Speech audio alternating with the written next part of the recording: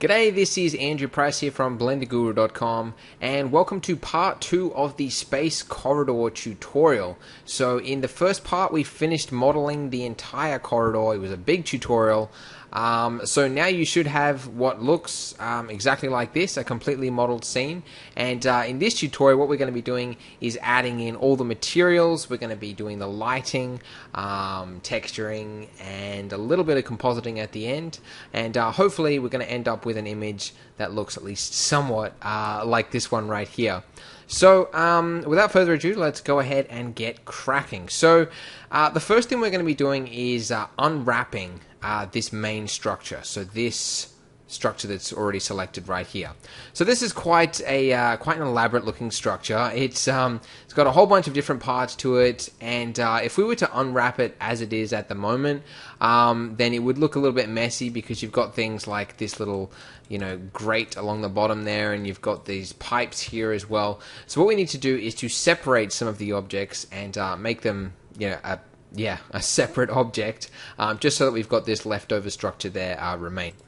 So what I'm going to do is uh, just select this uh, to start with, this pipe right here. So I'm going to select it, then hit Control L like that, then hit P, and then hit Selection. So now that there is now a separate object. So I'm going to do that for anything that could cause a problem uh, with the UV unwrapping. So this pipe right here as well, do the same thing.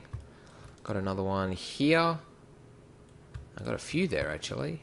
Actually, these pipes that are going to be here, um, they're not going to have a texture on them. They're going to be like a solid, um, yeah, like a solid plastic material or whatever. So those ones are fine, but these ones, um, the ones that I'm making a separate object, oops, uh, these are going to have a, um, yeah, kind of like a rust texture on them. So they're a little bit more important, so I'm having to uh, move them out of the way. Uh, and then you've got this grid floor along the bottom here, uh, which wouldn't be too hard to UV unwrap except that you've got the pieces that are on the outside. Um, so you've got you know those pieces there. So that can be a little bit yeah a bit complicated. So to avoid all that, I'm just going to move it to a separate object, and I'll just check anything else that could be causing a problem. I think I would say these right here. Um, uh, these are something I didn't actually include in the last tutorial. I mean, they're pretty basic. It's just like a little siren looking to. I'm not a siren. It's like you know, like a police light, like a warning light. Uh, looks like that. Um, yeah, they're pretty basic to model, so I'm sure you can figure it out. Um, but yeah, if I was to make that a separate object, then it would kind of ruin the array system because you can see how small that object there is. If I just show you um, what I'm talking about, if I just hit P like that, uh, you can see how the array is just like all snapped together. So if we were to fix that, we'd have to go through that and change all the settings, um, you know, with the array, which would just be a hassle. So we're not going to do that. So I'm just going to leave it um, as the uh, yeah as the actual object of the structure. Um, but yeah, other than that, I think uh, I think we can get cracking now. So the first thing um, I'm focusing on is this uh, pillar. So uh, the door structure, whatever that. I can never find the right word for that. But anyway, you know this whole part right here. So um, we're going to have to break it up um, so that it is UV unwrapping correctly. So what we're going to do is put in some seams so that, um, yeah, so that UV unwraps. So the way I, I, try to think of things that kind of helps me when I'm UV unwrapping something is if I imagine that this entire structure here was made out of paper, uh, if I wanted to disassemble it without ripping the paper, where would I have to use the scissors to actually cut it? So that usually helps me to come up with, you know, where I actually need to put the cuts in. So if this was a physical object, first big cut would have to be that one uh, right there. Uh, and I would just cut it clean off because it needs to be a separate object. Um, and, uh, and yeah, so um, then I can see um, around about uh, that, these little corners and stuff like that. I tried different methods when I was like testing for this tutorial. Like I created little seams on each of these little edges, and it was a bit of a mess, and uh, it didn't really provide. Like it actually kind of worked negatively because the objects were kind of separate and it wasn't working with the texture as well as it should have. Anyway, so uh, so I'm not going to worry about that, um, but I will worry about these corners that are right there.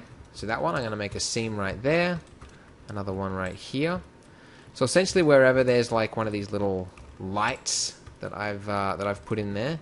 So that'll come in handy if we've uh, if we've got a cut that's going there, and then you want to create a cut uh, just along.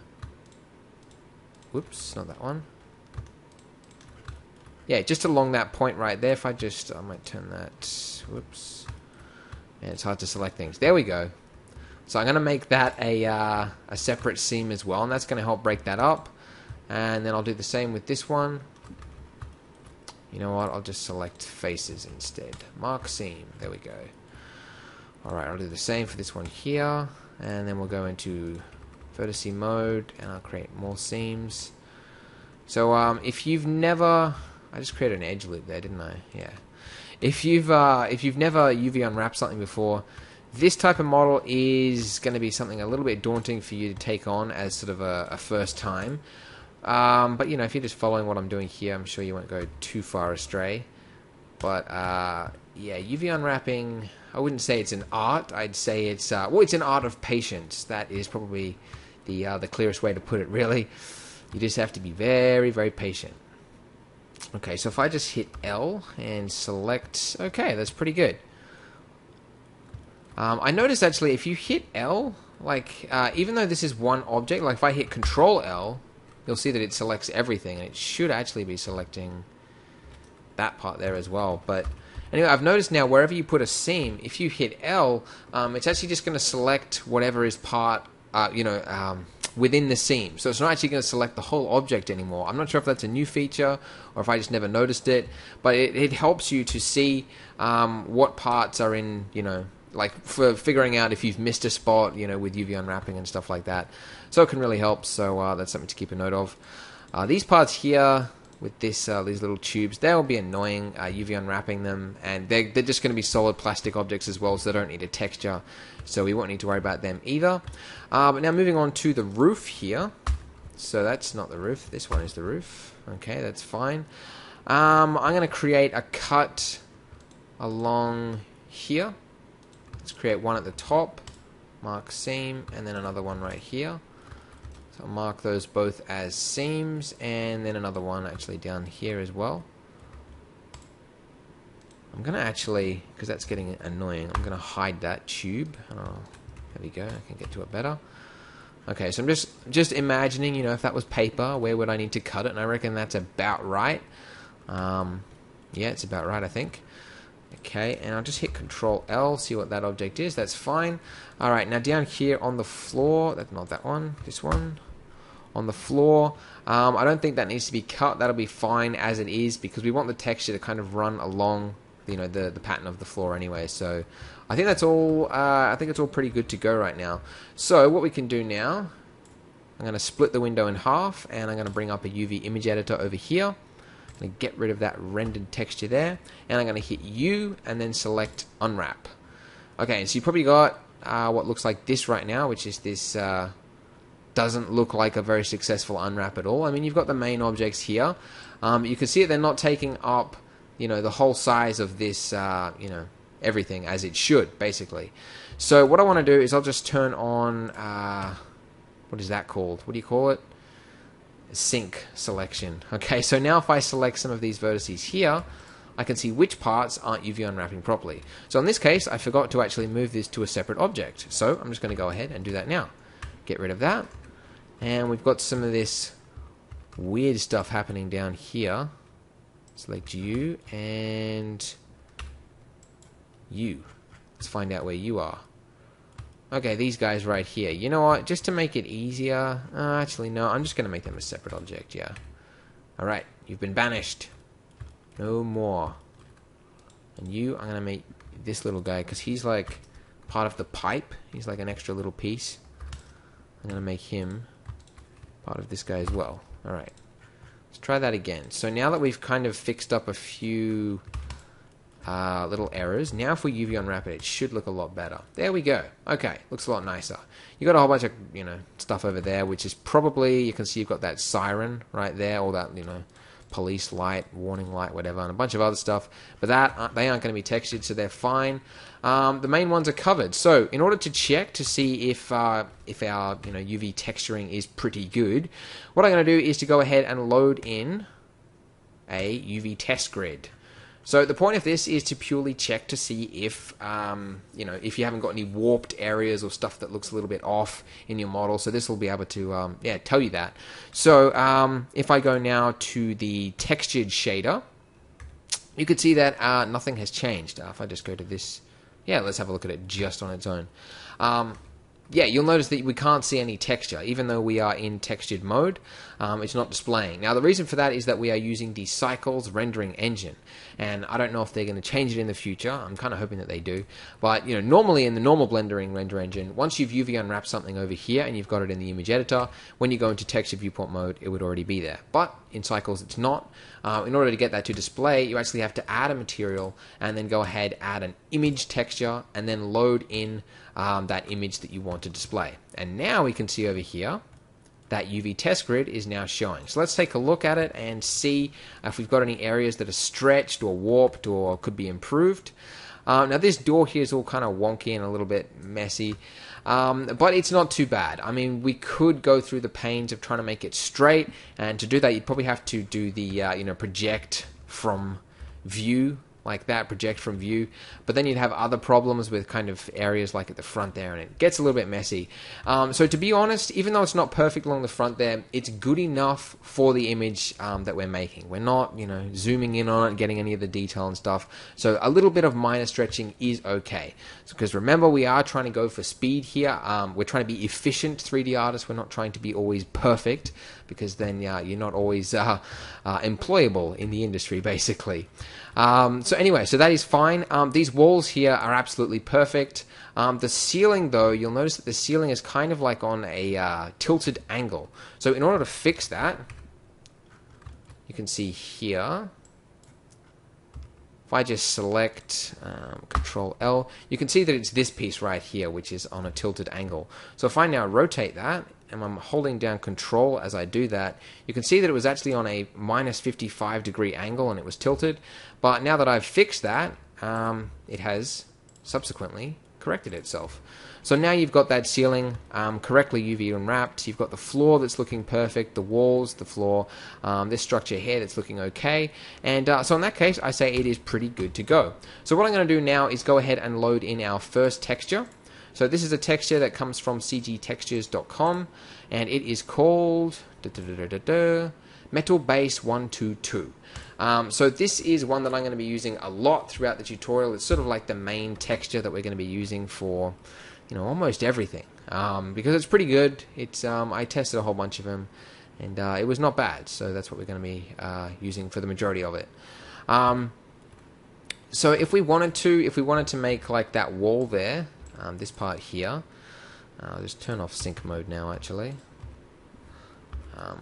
If you wanted that to use more texture then you can kind of expand that or even better if you wanted to tilt it.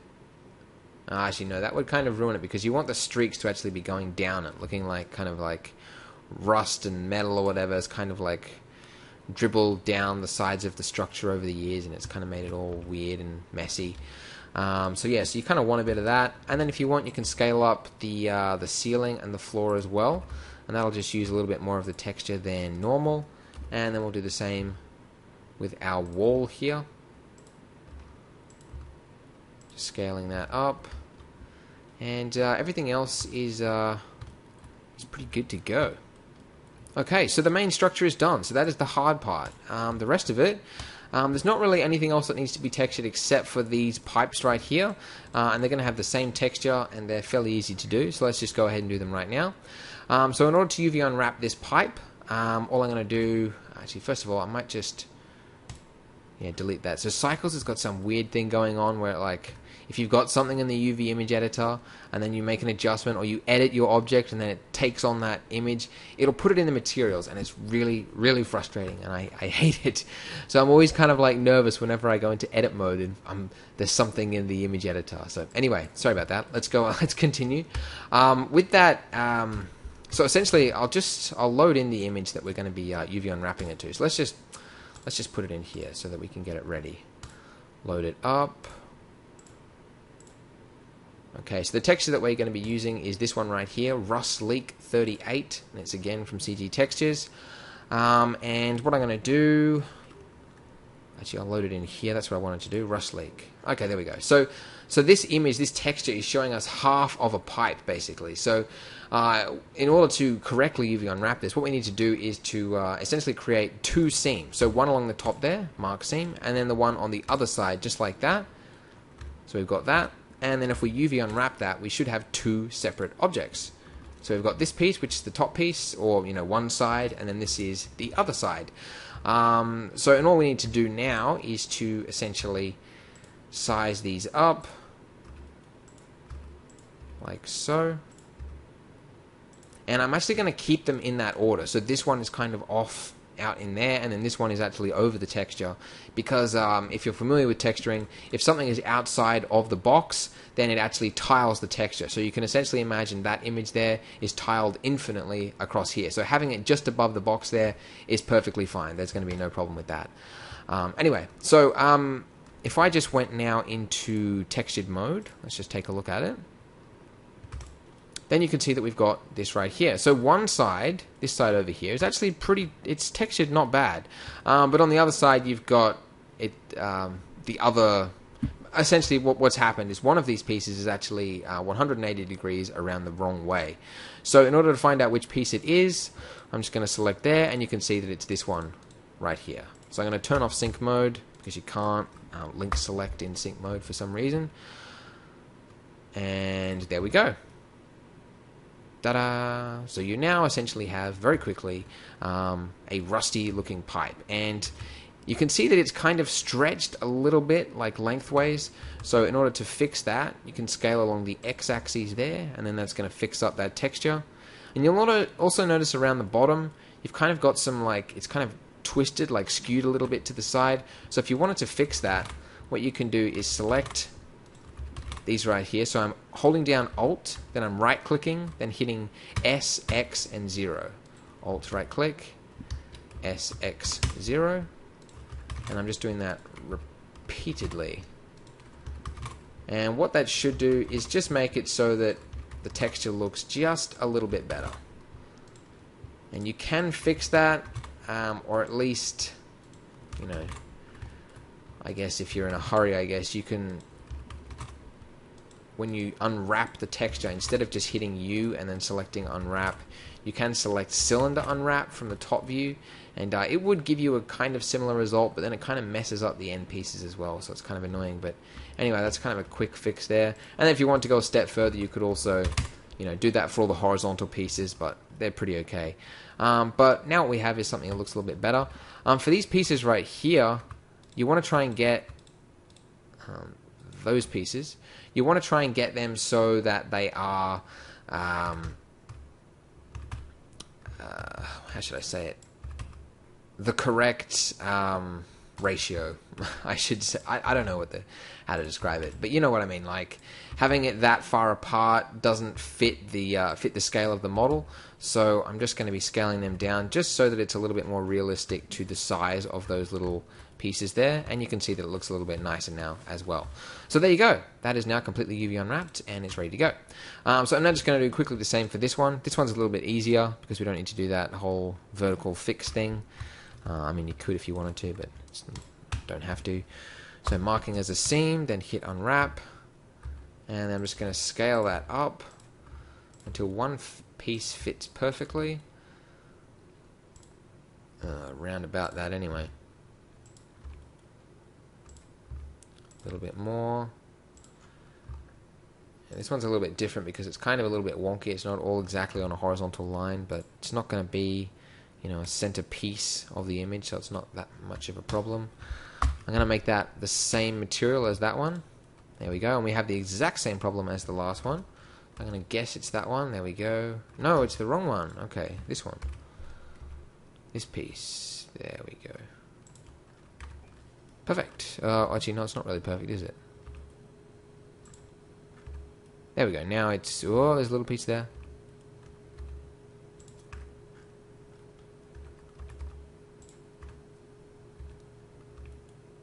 Maybe this one.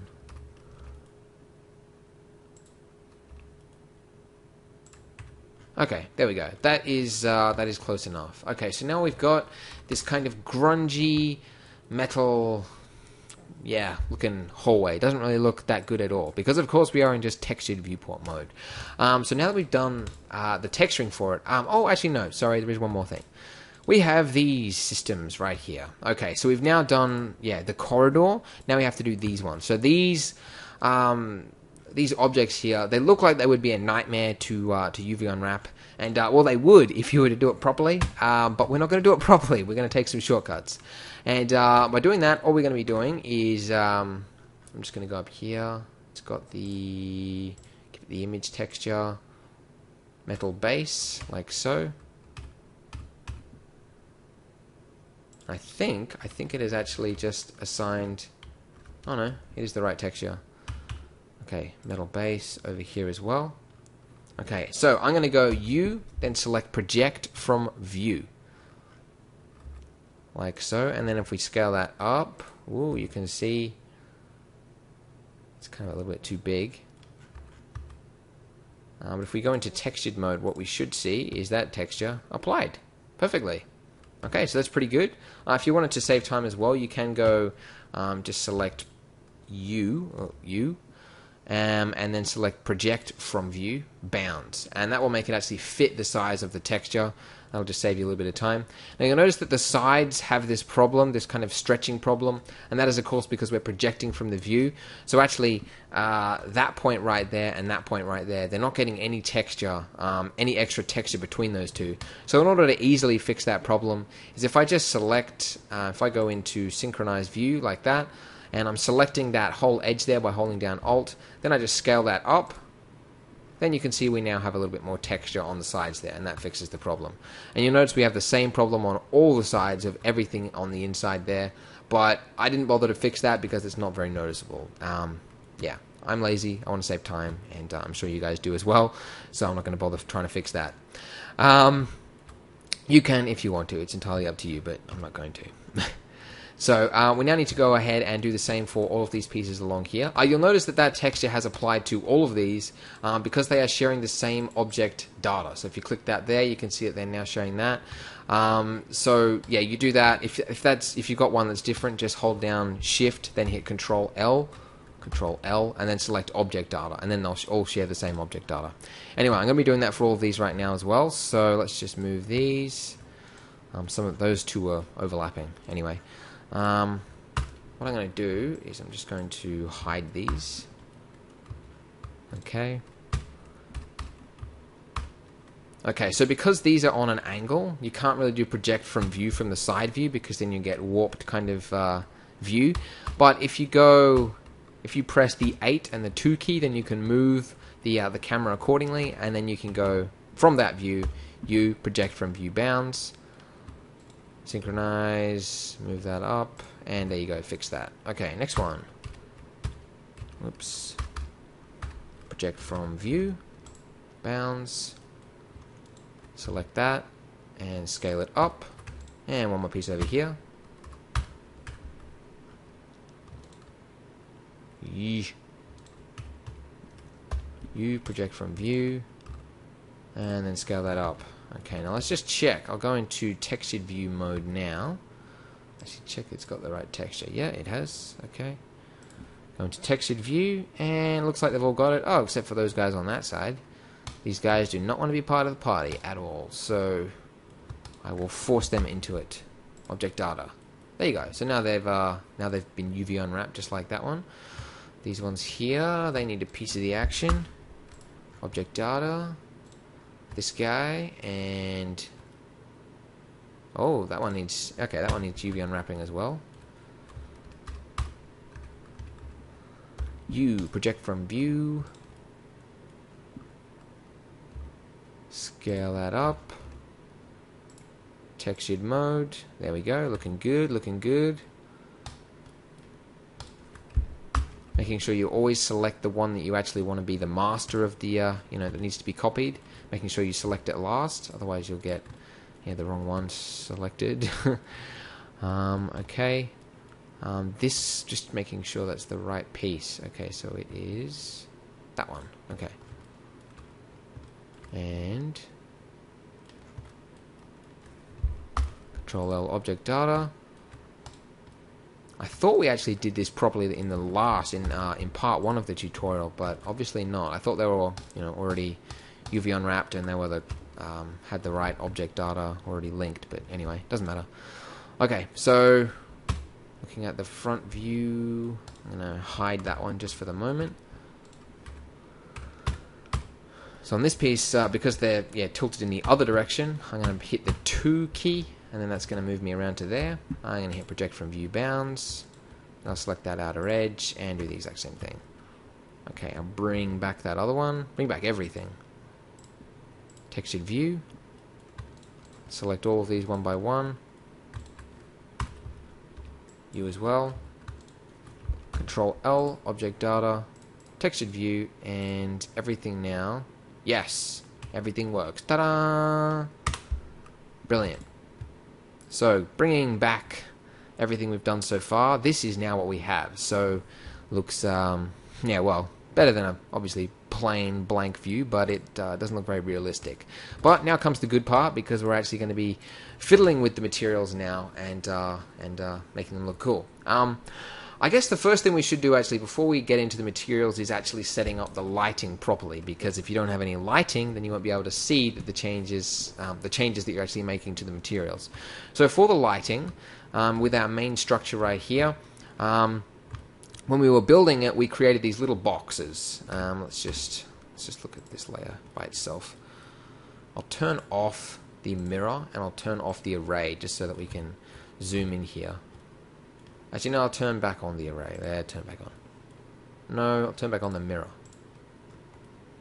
Yes, there we go. Okay, so we've got this little box um, right here, and these are just what I imagine would be, I don't know, like a uh, LED kind of flat looking light, and they're just going to be used to cast most of the lighting across the scene. So we're going to go ahead and add in a new material, and this one is going to be called white light. Very simple.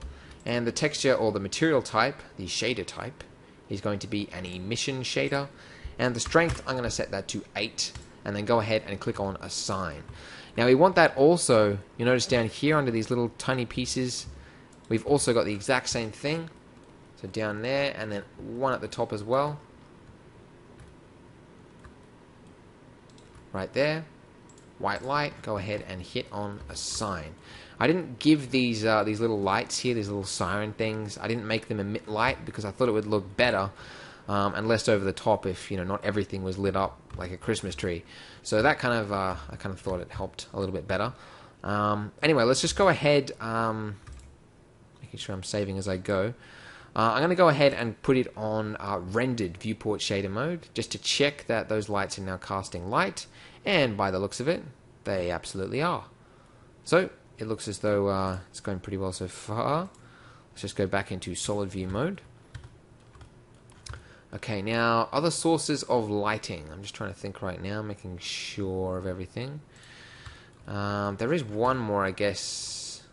Um, we put right at the other end of the tunnel, right above our bay door. Because if we have a look at the finished scene again, um, you'll notice that at the back, right above that door there, you've got a very bright light shining down. And that extra contrast will help draw the viewer's eye to the uh, to the end of the image, as opposed to just kind of milling around um, and uh, in the rest of the scene. So it kind of it has a path that your eyes will follow. So that's really important. And having sharp areas of contrast like that, so areas where there's um, yeah, obviously lots of light contrasting with dark values, then uh, it draws your eye to it a lot more. Okay, so I've just created a circle there. I sort of sped past it, I didn't really show you what I was doing. But anyway, this lamp is just a circle, and it's got a flat face in the middle there, using an n-gon, like so. And I've just placed it right above there, just above any pipes I didn't actually model any lamp. I didn't put any fancy, you know, actual physical lamp values to it. I mean, I just made it a flat circle and I hit it a bunch of all this other stuff in the ceiling. Um, so for that one, we're going to make that a little bit brighter and emit a value of 20, just like so. Um, okay. Excellent. All right, so now we can go ahead and move into the shaders.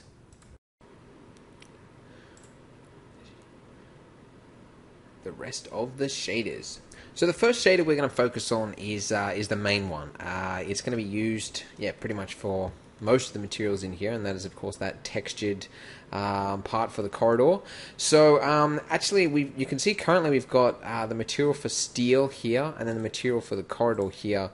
Uh, which is a different material. So in order to save time, I'm going to make them both the exact same material because they are. And um, and then we're going to go over to the node editor right over here, and this is where we're going to start getting into some fancy materials. Um, so currently having a look at our scene, um, it's basically just using a diffuse shader at the moment. So you've got an image texture, which is that, yeah, obviously the metal texture, and it's going through a diffuse, and that's it. So there's no extra lighting, like there's no glossy shaders, there's no like reflections, there's no bump mapping, there's no nothing. So that's what we're going to do right now. So uh, the first thing we want to do is to get a reflection in that shader. So what I'm going to do is go ahead and add in a glossy shader. Then in order to mix the two, I need to go ahead and add a mix shader node and then connect the two just like that. So just so that I can see it um, right now, I'm just going to go ahead and isolate it by itself. And I'm going to move, actually let's just move this stuff here. Uh, not you. And you and, not you, and you.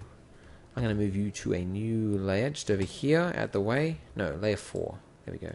Oh, too late anyway. Um, and, uh, and I'm also just going to turn off the array, yeah, just so that I can see things um, as it's happening. And I'm also going to go ahead and add in a plane. I'm going to rotate it by 90 degrees, and this is just whilst we're doing the testing phase. Um, I'm going to make this an emitter, like so. I'll just set that to 5 or something like that. And let's go ahead and now go into the rendered viewport shading mode. Like so. Okay, cool. So you can see that with our basic uh, diffuse and glossy shader, that we now have reflections um, on our on our texture there. So we can see, it appears as though the uh, the texture is not showing through. It's almost like it's not there. If I just turn down that, let's just see if the texture. Okay, so the texture is there. I was worried that actually uh, the texture was had disappeared, but uh, you can see that with the gloss turned up so much, it looks as though it's just a completely grey texture. But anyway, so I'm going to leave that down there at 0.1 for now. And if we wanted to make the reflections more sharp, then we can turn down that roughness value. So I'm going to set that up to be about a 0.1. Now, one of the things we want is some bump mapping to that texture there. So I'm going to go ahead now and uh, I'm going to add in a mix node. So color, then mix, not a mix shader, a mix node. There's a difference. Uh, and I'm going to take the output of our image texture and I'm going to drop that into the bottom input of the mix node. And then make sure that the uh, the blend type is set to multiply. And then the top value is 100% white and then we take the output of this and then put that into the displacement right there. Now this value, uh, this FAC value, this factor value, that's going to determine how much bump mapping you get. So if you set that to 1, you can see that's some pretty hideous bump mapping right there because that's 100% bump mapped. And then if you set that to be, let's say, 0.01, then you get something that looks a little bit nicer. So if I zoom in here, then you should be able to see the details. So normally you set this value to be something really, really low. So around about that value suits pretty well. So uh, 0.01, that should be pretty fine. And um, at the moment, it's looking a lot better than it was. Um, there's one extra way that you can go and um, get a little bit more, I suppose, depth to that material, and that's by making it so that the actual image texture itself affects the reflectiveness.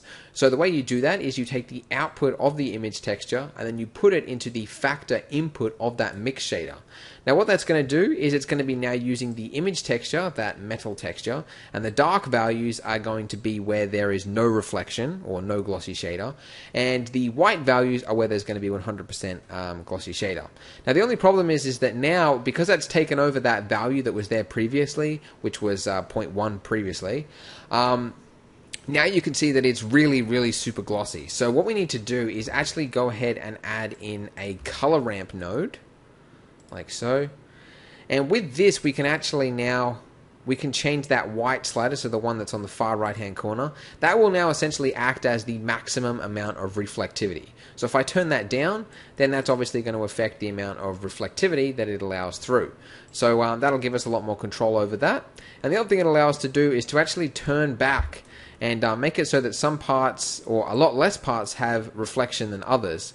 Um, so to give you a more extreme example, if you were to set these really close together, like black and white like that, then you can see that you get some really sharpish looking reflections. So that would be, I don't know if it was, I don't know, puddles or something like that if you were trying to make a rainy scene or something, but that just gives you an idea of what you can do. So I'll just set that back to something a little more grayish looking.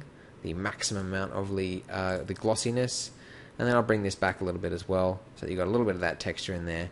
And that'll obviously bring that out a little bit more as well. I'm going to turn up the bump mapping as well, 0.015, just to get a little bit more detail in there. And uh, and that texture is pretty much done now. Uh, the uh, the shader is pretty much done now. Um, so uh, yeah, so now that that's done, we can go ahead and move on to the next thing. So let's just get out of this mode. And uh, oh, there's one other thing. Um, I'm actually going to go ahead and model. Actually, I shouldn't have deleted that because I might need that later. I'm going to move that to layer. Yeah, that one right there. um, yeah, one thing uh, that we should do is actually model the fluorescent lights that are going to be underneath um, underneath the scene. So underneath those uh, the metal grates that are under there. So I'll just turn back on the array system. There we go, so we can see that. So uh, basically underneath there we want there to be some fluorescent lights, um, just like that down there. Um, so in the first, you know, part one of this tutorial, we did all the modeling. Um, except for the actual fluorescent lights because I figured it's lighting so we can do that in this part. So it's really really easy. All we need to do is go ahead and add in a cylinder and I'm going to leave the cylinder uh, vertice amount set to 12 and make sure that there's no caps as well and then in the mirror modifier make sure that you uncheck clipping so that you can now scale that down and then rotate it by 90 degrees and we can turn on clipping again now and then basically the uh, the size that you make that, like the radius of that cylinder there, um, will then actually act as the um, sort of how much light will actually be cast on the scene. So if you get too much light coming from the fluorescent lights, then um, just scale down the size of it, and then it'll um, obviously create a lot less light throughout the scene. So if you've got a fairly boring ceiling, um, as I do at the moment, um, then you might want to go with something, you know, not too much light shining down on it because that light will shine up pretty well um, on the ceiling. So make sure that, um, you know, if the ceiling is ugly, then you use a smaller light source. But anyway, something like that. And you can kind of model in if you wanted to. It's just right here. Let's just add in a cube. Oh, I've got to turn off the clipping again, don't I? So I can scale down the cube and then turn the clipping back on. And so these are kind of like the end pieces of the fluorescent tube, I guess. Kind of like that. And then if I just go ahead and select that fluorescent tube there, assign it the white light material, and then I'll go ahead and add in our black plastic material, and then I'll assign it to that little piece at the end there, and I'll duplicate that and place one over there as well. Okay, so now if I was to go ahead and, uh, and give this a render, um, right now, just check, did that one, just check that those lights are in the right place. Good, they are. Uh, oh, I only assigned one of those fluorescent tubes. Let's make them both white light. That would help. Okay, excellent. So let's just go ahead now and give that a render and see how that looks. Okay, so that's the finished render there. Um, as you can see, it's looking pretty good. It's, uh, it's a lot better than the plain scene that was there previously. Um, we need to apply some shaders to these pipes here to give them a little bit more detail, a little bit more oomph to them. It's looking pretty boring at the moment. Uh, we also need to apply some proper shaders to uh, all the plastic and the yeah, materials and stuff over there, um, and the little control panels, and then finally the bay door at the end there. Then a little bit of compositing, and then we'll wrap it up. Um, so first thing is these pipes here. So these uh, we're going to be doing essentially the same thing that we did for the. Uh, the, uh, the material just before. So we're going to be adding in a glossy shader to get some nice shiny effects coming from those pipes. Let's just add that in there. And um, yeah, just so we can see everything, let's go into rendered view mode. And we'll drop, whoa, I added in two glossy shaders. All right, make it a mix shader, like that. Mix it up. Boom. Okay, cool. So now we've got some shiny looking pipes. Uh, we now want there to be some bump mapping, so add in a mix shader. Take the output of the image texture node, not from the uh, the diffuse or anything like that. It needs to come straight from the image. Make sure you set the uh, blend type to be multiply. We're going to make that 1.015 like we did for the other one. Turn that top value all the way up to 1. And let's just zoom in on that pipe there and see if we can see the detail in the bump mapping. Yeah, I think I might make it a little bit more. 0.02 perhaps. You can kind of mix and match depending on what you've got. Um, but that's pretty good, I think. Um, you can also change the amount of, you know, how shiny you want that pipe to be. Essentially, how low you set that roughness to is going to be how sh- or how wet the pipe is, I guess. So if you set that to be 0.1, then it's going to look a lot more wet than if it was, you know, something like 0.4 or something like that, which is just like an overall shadiness. Anyway. Um, so now I'm going to go ahead and add in that color ramp just like I did before and I'm going to play with the values uh, when I add this in here like so. So I'll turn that, let's make that about there. And then this amount that we give it, um, let me just move around. I can get it from a different angle. Yeah, this amount here is then going to become the top value for that glossiness. So you don't want it to be too powerful. So I think something around about that. I'm going to move that light around a little bit closer to it just so that I can see how it affects it from different angles.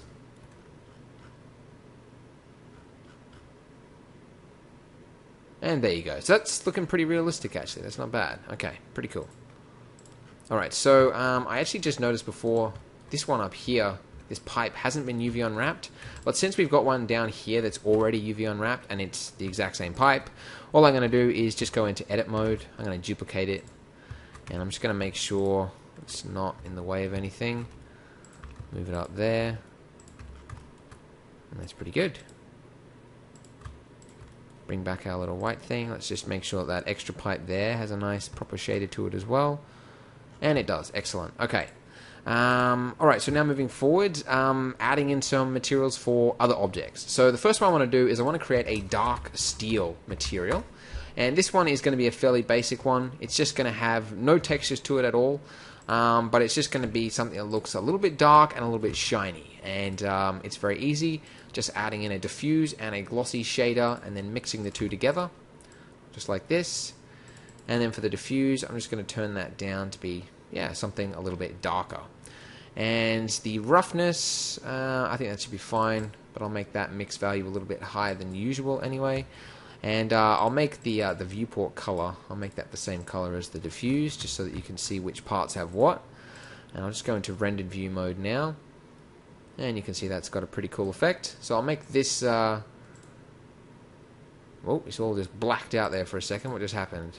Okay, that one. So I just made this one have that dark steel material as well, and I think uh, Blender had a little hissy fit. Okay, there we go, that's fine. Um, okay, now for the pipes that are along the top there, I think um, this one, it's right here, uh, that one. Okay, I'll make that one the dark steel. Let's give that a dark steel one. And then this one, I'm going to make this a, let's just go with, I'll just call it a white pipe. Very creative name, I know and very very basic. It's again it's got no texture to it because um, you know it's quite quite a small element for it. If you wanted to make some kind of masterpiece that was to be posted on CG forums or whatever, you wanted to get an award or whatever, you definitely want to be making sure everything has a special texture. But in our case, we don't really need to bother about that because it's uh, you know it's a play scene essentially. Okay, so we've got some white pipe, we've got everything else set up. Okay, now the big one is these materials that we've got right here. So um, in part one, we were smart because we uh, we assigned some placeholder materials. So these ones that are here right now, they've got names like black plastic, red plastic, and chrome, but they don't actually have any shaders to them. You can see they're all just diffuse shaders.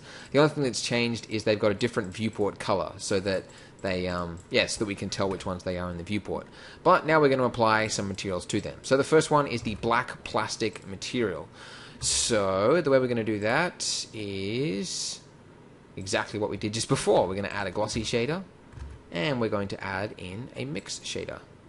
Ugh, I'm trying to go really fast, and then I forget what I'm doing, and then I yeah, get all mixed up. Anyway, something around about that, and this is a black plastic one, so I'm going to turn down that value to be something nice and black looking like that, and then I'll make it look a little bit shiny as well.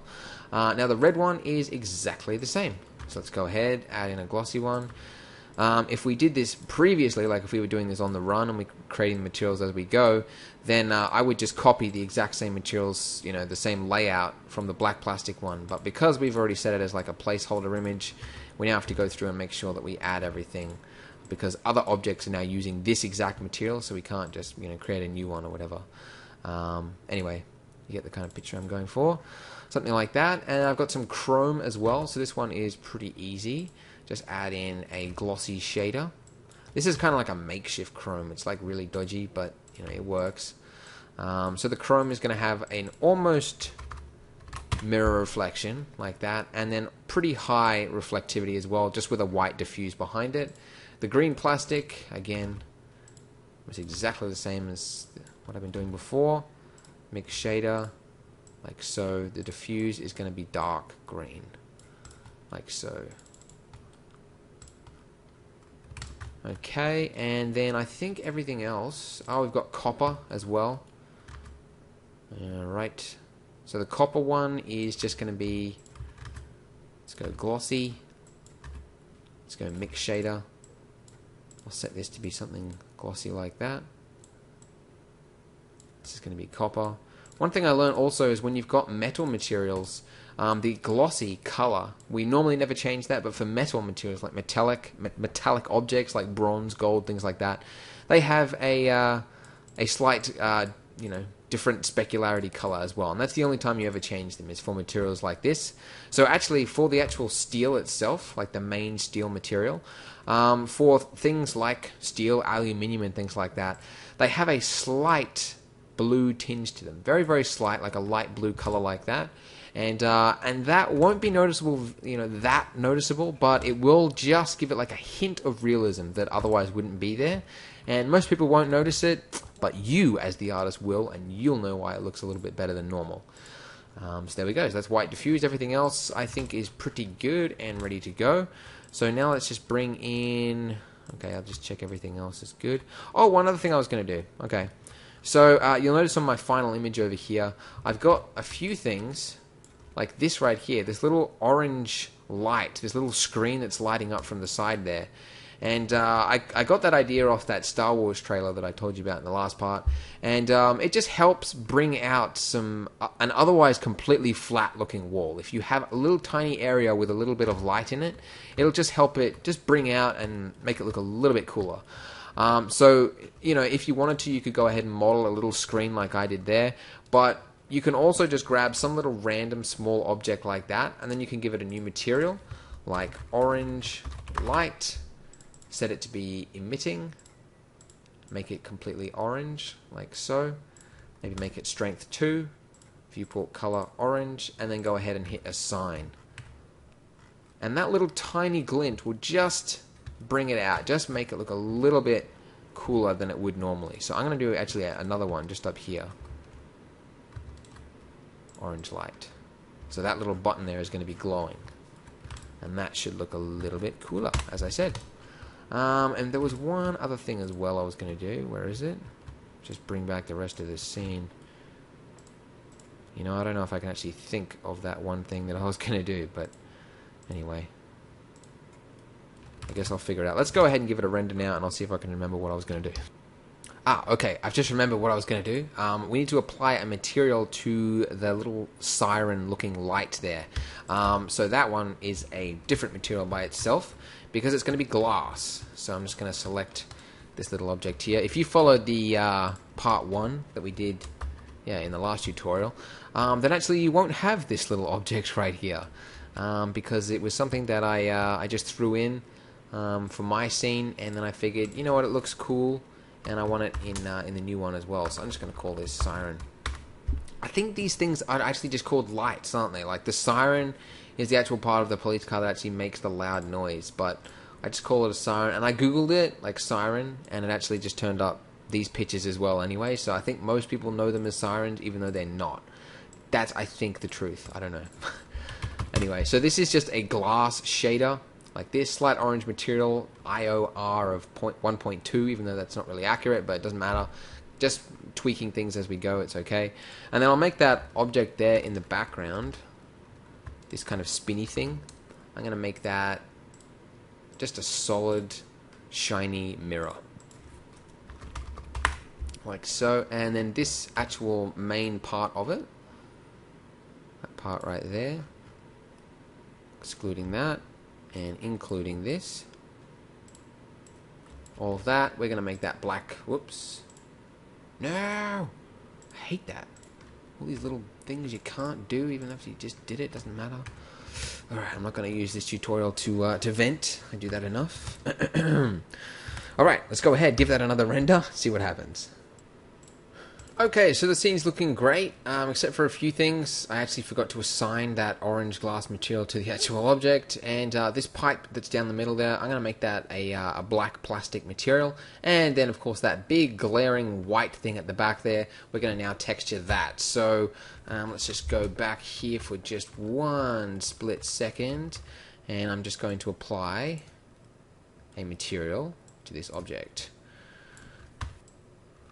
just like that assign and make sure we've got a viewport so we can see it. Okay there we go. Alright now for that pipe down the middle there control L I'm gonna make that black plastic just like that. I'm not sure if that'll look you know entirely perfect but that'll be alright for now. Um, we'll have a look at that in the next render anyway. Um, now, for the big one, this is the bay doors right at the back here. So having a look at the finished render here, um, you can see it's got a little bit of extra work to it. So you've got, you know, a standard metal type texture to it, and then you've also got some writing on it. So um, this one takes a little bit of work. We're going to be doing some work in GIMP, um, but it's uh, it's pretty fun and it's pretty uh, makes a pretty cool result. So the first thing we're going to do is to go ahead and apply uh, a texture to these bay doors, um, as I'm referring to them. So in front view mode, um, let's just go ahead to the UV image editor, and in front view mode, I'm going to hit U, then select Project from View Bounds. Uh, then I'm going to go ahead and load in a new image. And this image that I'm going to be using is called Image Scratches 22. So go ahead and load that in, and that right there is what it looks like. So if I just go, uh, actually let's just apply the material to it right now. Let's just make it image texture, whoops, image texture, and metal scratches, there we go. And let's, if we have a look at it in the rendered viewport mode, you can see that that's what it looks like. And you can see on the right hand side, you've got these kind of, uh, what looks like door hinges or something it, it looks pretty cool. It's uh, it's suitable for it, so I'm going to go ahead and uh, and just leave that in there. Now to uh, to get some um, yeah more depth, variety, fanciness to the uh, to the shader, um, we're going to go ahead now to the node editor, and I'm going to add in a glossy shader with a mix shader, combining the two just like that. I'm going to turn the roughness down to 0.1 just so that it's a, um, a little bit more of a sharper looking reflection coming out of that. And I'm going to make a color ramp node right here just so that I can have a little bit more control over how it affects the uh, that mix shader right there. And then I'm going to turn that back a little bit and then turn the whiteness of this down just so that the maximum glossiness isn't too over the top. But something like that is pretty good.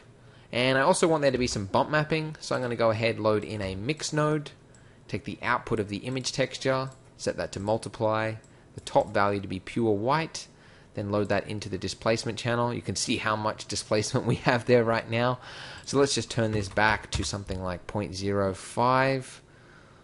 And I think that's actually, uh, yeah, it, the bump mapping is actually going in the wrong direction. So I actually want those scrapes that are there at the moment, I want them to be indented. So I'm going to add an invert node and then just drop that in there. And now you can see the bump mapping is, uh, is actually going in the right direction. So that's pretty cool. So um, the next step that we're going to be doing is uh, actually adding in some text and this uh, kind of, uh, I don't know, warning, whatever you call it, warning paint along the bottom there. So uh, in order to do this, we need to create a custom texture. So in Solid View right now, uh, and then let's load in the UV image editor as well. Uh, what I'm going to do is to go ahead uh, over here in the UV image editor and I'm going to select UV and then select export UV layout. And then over here on the right hand side you can see, or sorry, the left hand side, you've got the uh, how the uh, the export layout, sorry, how the UV layout is going to be exported. So I'm going to save it as a PNG and I'm going to set this size here to be 2048 by 2048. And I'm going to make the fill opacity for this to be 0.5 just to make it a little bit easier to see. And then go ahead and save it somewhere. I'm going to call this tutorial. Alright, it's going to save. There we go. And then go ahead and load up your favorite image manipulation program. My favorite is Photoshop, but I'm going to be using GIMP for this tutorial so that other people can play along. Um, so then go ahead and load in the image that you've just created. So I need to find it. Just load this in Space Corridor textures tutorial. All right. So now what we have is this right here. So this UV layout is obviously um, the point of creating that is so you can actually see where the vertices are um, without just creating text aimlessly and hoping that it fits um, when you go ahead and add it to the object. Anyway, so now that we're here, we're going to go ahead and add in some text. So the text that I want to add um, in this instance, I'm just trying to. I'm, I'm still getting used to uh, to GIMP, so I'm I'm used to Photoshop, and uh, it's kind of different. So I have to drag this text box. There we go, and uh, and I'm going to type the words "bay" like that, and you can see it's absolutely tiny. And I want to change the uh, the font of that to be ethnocentric, which is a futuristic type font that I got off DaFont, which is a great um, font website. It allows you to test and see things before you you download. It's really cool. I love it. Um, anyway, there we go, Bay, and then I'm going to create another one over here. Uh, let's do that again, shall we? Let's just move that. Let's drag. There we go. And then this one, I'm going to make OSET. And you can see it re always resets the uh, the settings. It's really, really super annoying. I'm not sure why it does that, but okay, I'm not here to complain. All right. okay, let's just, uh, yeah, you can, I think I made that. Let's just make that zero. Oh no! You did it again! You gotta be kidding me. You are crazy. Gimp, not a fan. Not a fan of what you do. Gimp. Okay. Okay, alright, there we go. Alright, now, uh, another text. Um, I'm going to go ahead and make this text. You can see it's reset it again. Let's just drag that down. I could duplicate that, but then I have to change the size and everything. It's just annoying. So uh, I'm going to make another text here, and this one's going to say, um, what would you? What was this text before? Oh yeah, please stand clear of opening door. It would help if I could see it, but know, anyway. Can't have everything. Let's just increase that. Opening door, and then I want this to be on the right side like that. Uh, stand, maybe just stand clear would be better. Stand clear of opening door. Stretch that out a little bit. There we go. That's good. There's no politeness in the future, so they just say whatever they think. Because that's just how they roll. Oh, this is this is really hard, I tell you. Okay, let. Oh no. Okay. And I gotta turn that down a little bit. this is a great tutorial, isn't it? This is me coming to terms with GIMP. No, no, you know it's not. It's not going to work. It's. Uh, I'm just going to have to do. See, I can't even move the text. There we go. There we go. All right. And uh, I've just realized the text needs to be white as well. So let's just do that. Okay. Hey, that. No problems. all right. Make that white as well. Okay. And then you as well. Okay. All right. Good. Good. Uh, and I want to make a... Uh, let's just make this a background color. No, I wanted it to be black. Well, whatever.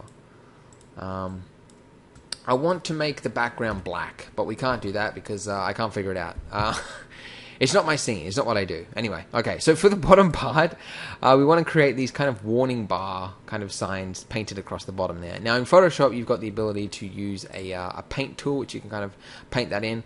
Uh, but in GIMP, I, I, experimented and I tried it myself, and I couldn't figure it out. So, so in lieu of that, um, what we're going to be using is this website called a stripe generator, which is what we're using. I used in Photoshop to create the pattern brush anyway. But in this instance, we're just going to do the lazy method, and uh, and that is. Uh, actually, I suppose I should show you what you do. I just set the strip size to be 20 here uh, on both of those, and I chose this pattern of a pattern. I, this website just allows you to create a whole variety of different stripes, as you can probably guess. Um, but a whole bunch of different stripes here you can choose. I chose that one with strip size of 20. You go ahead and refresh it once you've got all the settings that you want, and then you go ahead and click on download when you've finished. But in this instance, I'm going to click open full screen preview, and then I'm going to hit print screen, and then I'm just going to take a screenshot of that entire Uh, this is my little Snagit editor that I use right here for screenshots. Then I'm going to Control C and then go over to GIMP and then Control V that, and then I'm going to move that to where I want that um, that little warning strip to appear along the bottom there, and then I'm going to take this little magical thing right here. I don't know what you call the box, a rectangular select box, I suppose. And uh, I'm actually going to hit Control I and then I'm going to hit delete. And then over here I'm going to select to new layer. And there we go. Excellent. Okay now I actually want to merge all of these layers together. So I'm going to hit merge down merge down and then merge down. Okay because that's how you do it and um, and then I'm going to use the eraser, and I'm actually going to start chopping away at the text to make it look kind of like grungy and like worn down text.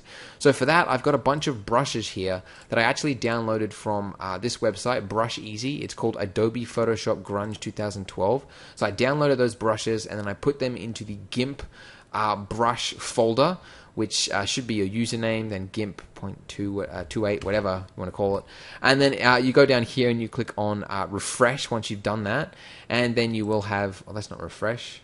No, it's down here. Uh, you click on refresh, then you'll have those new brushes there, which you can then start using. So, in order to make this work, uh, what I'm going to be doing is you can see that's really really tiny. I'm going to turn up the size of it. And there you go. You can see we're going to start chipping away at that using these different brushes here. And uh, it's really effective. It just creates um, some really um, cool looking effects that look quite realistic, um, all things considered. So that's pretty good. It's a little bit slow in uh, in GIMP, I must add. Um, this one here, let's just move a few of these. This is kind of like some scrape effect that's kind of scraped across the door frame or something. So that's kind of cool, I guess. And uh, this kind of like it's been chopped away out there. And then this one as well. Maybe I won't use that much of an effect. Maybe I will. uh, maybe like that. Anyway, you get the picture. That's pretty cool. I think it works. I think it works quite well, and uh, and that's that's it. We're done now. So go ahead and hide that UV layout layer that's underneath that. So you've now just got this on a completely transparent background. Then you go to File, Export, and I'm going to go ahead and save this as tutorial two, and then go ahead and hit Export, like so, and then go ahead, yeah, hit Export again. Alright, so once you've done that, jump back into Blender and then if we go to the node editor over here, I'm going to load in another image texture, this one right here. And then the text that I'm going to load in is the one that we just created, of course, which is called tutorial 2.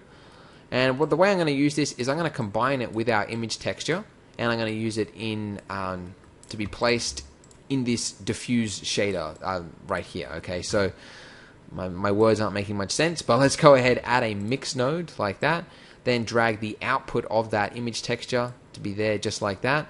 And then because it is a PNG file, what I can do, actually let's just move this here so you can see what's happening. You can see it, looks pretty good as is, but actually it's basing it off this um, opacity. So it's either one or the other. One has to be transparent or you know you can't have both at 100% trans um, 100% opacity. So to get around that i'm going to take the output of the alpha value from that texture and i'm going to use it in the top input like that flip it around if it's the wrong way and there you go. Now you've got that texture appearing um, exactly the way you want to. Uh, and you can see you've actually got the stripes that are going over the top of the door frame there. So in mine i didn't have that. I properly you know did stuff and I removed the part where it should be or whatever. But you you get the gist of it. You know how it how it how it works. Um, okay, so if you actually want that that shine, that glossy effect to actually affect the uh, the text that we've created there as well, what you can do is apply it to this color ramp here, uh, just by adding in another mix shader. If we just drop this in and then push this in there, let's make this an add node. Then you can see, especially down here, you've now got that paint that is now displaying uh, and is becoming nice and glossy and shady. And uh, it's looking pretty cool. And you can also make that affect the uh, the bump mapping as well if you wanted to apply the two um, by going like that. You can see that's yeah, it's a little bit too over the top, but you can experiment with those settings. I'll just leave it um, with the base um, as is at the moment. But that's pretty good. So that is the bay doors in a nutshell. That's how you go ahead and you paint your own and you do all that cool stuff. So I'm just going to apply some basic materials to these objects over here. Um, very, very easily. Let's make that material. Okay, so they've both got the chrome shader. Good. This one here is going to be black plastic, as well as this little makeshift keyboard. And the uh, the face that's right here, this one right there, this one is going to be the orange light, which is just going to be shining um, at the far end of the bay door, just to kind of draw your eyes in even more to it. So let's just do that bring in everything else. And before we do a final render, there's one other thing. We're going to do some compositing in just a second, and we want to make the lights so they actually glow. And the way that we're going to separate the lights from the rest of the scene so that we can have it on its own kind of clean render layer um, without actually making a render layer um, is if we select, see this one here that's got orange light, down here in the settings, you've got an option for pass index. So I'm going to make that pass index 1. And then I'm going to do the same for the white light. Make that pass index 1. And then over here, underneath the render layers, um, if I can find it, layer, layer, layer, layer, layer, layers. Um, down here where it's got material index, make sure that you check that box and that'll allow that little output in the render, um, in the compositor, and that's going to allow you to apply effects to just those lights. So you'll see the result once we finish rendering it. So um, I'm going to apply some um, render samples. I'm going to make mine 500 and I'm going to go ahead and hit render now and we'll take a look at it when it's finished and then we'll do some compositing. Okay, so there we go. It's finished rendering and uh, it's looking pretty good. Um, if your render doesn't look up to scratch at this point, then you can go ahead and start changing a few things around. Um, whilst I had the recording paused, I, uh, I, adjusted the white light to be 16 and I turned down the bay light to be uh, 14 or something because there wasn't enough light that is actually reaching the walls there. So you can make slight adjustments like that. Now's the time to do it. Um, so now what we're going to be doing is going into the compositor and adding in some cool final effects. So let me just move this around. I'm going to check use nodes. And uh, the first thing I want to do is I want to apply um, some glare to those lights. So let's just add in a viewer node. And I'll just check the backdrop. There we go. Um, so in order to uh, to just highlight those lights there, because we made it a separate material pass and we now have this index MA output, what we can do is to go ahead and add in a, if I can find it, what is it called? What's it called? What's it called? It's an ID mask. There we go. Okay, so uh, I'm going to take the output of that index MA and I'm going to drop that in there and I'm going to take the output of that, out of viewing node, drop that there, and then now if I just set that index to be 1, you can see that because we've now moved all those lights to index 1, it is now showing just those lights. It's as simple as that. So now what I can do is to go ahead add in a blur node, and uh, let's take the, uh, the type, make it fast Gaussian, check relative, let's go for 5 and 5, uh, no, let's go 2 and 2, okay, that's pretty good, and I'm going to add in a glare node now as well, connect those two, just like that, and I'm going to make the threshold to be 0, I'll make the mix value 1, and I'm going to make the streaks 10, like that. I'm going to turn the color modulation up to be 0.5 just to get a little bit of color in there. Make the iterations 5 to give it a little bit more detail. And that's it. Okay, cool. And now I'm going to add in a mix node and I'm going to combine this with that blur node effect. Let's set that type to be add. I'm going to make the blur node into the bottom input like that, and now I can turn down the blur according to how much I want, just like that. I'm going to duplicate that add node, and now I'm going to combine both of those effects together with our original scene here, and now you've got some glaring light. Pretty cool. Okay, so there's one more thing um, that we're going to do. Oh, you can see those little orange lights there. Um, they should probably be on a separate pass, possibly because they're orange and now they're shining like a white light instead of orange. Um, or you could actually use, actually let's just do that. Yeah, I'll add in a mix node here. Mix node, good, good. Let's make this black. No, let's make this black. Let's make this add, and then I'll take the output of um, this. Let's just have a look at that. Oh, there we go. Now I've got some color to it. Okay, excellent. All right, let's just take a look at it. All right, so it's a little bit weirder now. No, you know what? I mean, I think I'm not sure why it's doing that, to be honest. Um, anyway, it's uh, it's getting past the scope of this tutorial. I'm sure you can fix that. It's only a tiny little problem with the orange lights. It's okay. Okay, the next thing we're going to do, I just jumped over that problem. Uh, I, I could figure it out if I could be bothered, but I can't. It's all right. Um, the next thing we're going to do is go ahead and add in some fog so that in the distance it looks kind of hazy and atmospheric. So the way we do that is to add in, first of all, a map value node. So go to vector, map value. And then we take the output of the Z output like that and then drop it in there. And now I'm going to set the size of this to be 0.05 or 0.01 perhaps is better. Uh, maybe 0.02. Okay, pretty cool. And then I'm going to turn down the offset because you don't want there to be fog everywhere or else that would look quite fake. I'm going to check use um, minimum and use maximum because sometimes you can get problems if you don't. And I'm going to take, uh, I'm going to add in a mix node like so. And I'm going to take the output of that map value node. I'm going to put it into the factor input like that. And, uh, and that will allow me if I want to, um, if I change this, uh, this blend type to be add, now if I turn down this value here of this bottom input, um, then that's now going to affect how much of that fog actually shows through. And you can also change the color of it if you wanted. You could make it like a pink or a you know hazy blue type of effect or something like that. Um, we're going to do some color correction in a moment, so I'm just going to keep mine white. Um, like that. and um, I think that should be fine. Cool. All right, so next step is the color correction. So, oh, hey, hang on. I've never seen that before. Color correction? No, we don't actually want that. We want the color balance node. So I guess the uh, the proper term for this is color grading. Okay, not color correction, but I'm sure they're pretty much yeah hand in hand, whatever. I don't know what the terms are.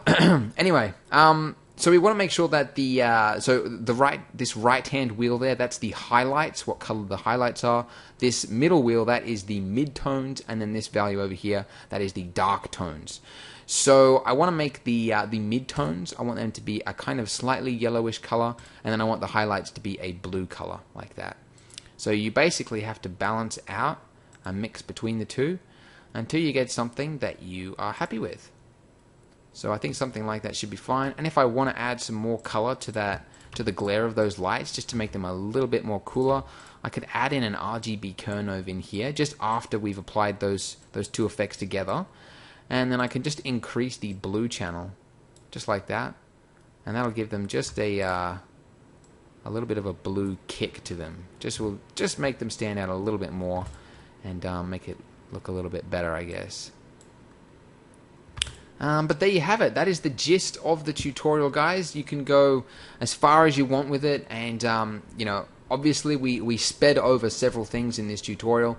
Um, so obviously if you were to be creating this by yourself something you want to put in a portfolio um, you want to be spending a lot more detail making sure you get you know extra little texture and making sure all the little bugs are ironed out and making sure everything looks cool and fancy. Um, that's the technical term i'm sure.